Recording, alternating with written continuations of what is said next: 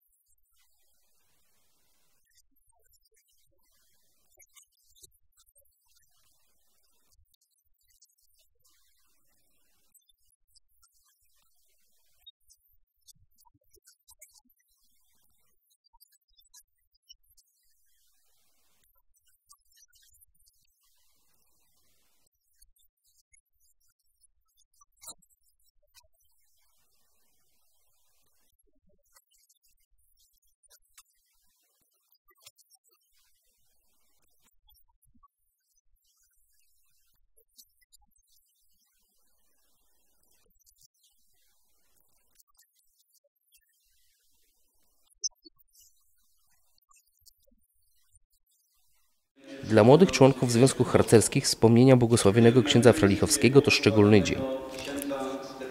Po mszy świętej został odczytany dekret biskupa polowego ustanawiający rok 2013 rokiem błogosławionego księdza Stefana Wincentego Frelichowskiego. Dekret ten został przekazany przedstawicielom władz harcerskich ZHP, ZHR i skautów Europy. Osobiście biskup Józef Guzdek wręczył dekret przedstawicielowi wspólnoty polskiej Markowi Różyckiemu – który następnie został ogłoszony wszystkim harcerzom przebywającym poza granicami kraju. Biskup Polowy podziękował obecnym w katedrze polowej kapelanom harcerzy, którzy wraz z nim koncelebrowali Eucharystię. Uroczystość zakończył krótki spektakl ukazujący życiorys Druchawicka przygotowany przez harcerzy.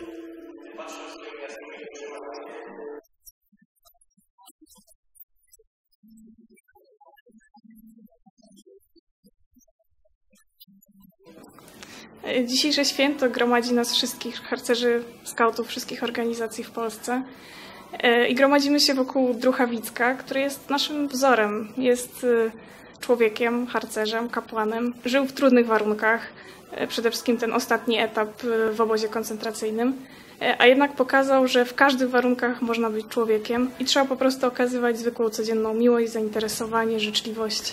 Atmosfera na pewno jest podniosła, ale też myślę, że czuję dużą taką radość z tego, że, że jestem w harcerstwie, że idę tą drogą, e, że mogę razem z moimi przyjaciółmi e, ćwiczyć właśnie swój charakter, e, ale też to jest tak, że no my żyjemy na łonie przyrody. Pracujemy razem, rywalizujemy, bawimy się i uczymy. No i to jest po prostu taka zabawa, dzięki której możemy się bardzo dużo też nauczyć.